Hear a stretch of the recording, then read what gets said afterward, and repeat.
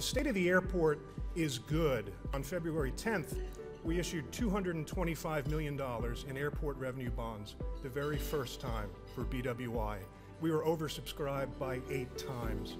I can tell you that is a vote of confidence in our airport. I want to thank you. I want to wish you all happy holidays and safe travels. My message is one I give around the country that the way we think about ourselves, the language that we use, the way we interact with each other will determine who we are as a society, as a region, a state, as a university, as a person. And we understand that if you're one of the richest states, in the richest country in the world, we are responsible for lifting up other people. And that is what we do. So I challenge you to watch your thoughts, they become your words.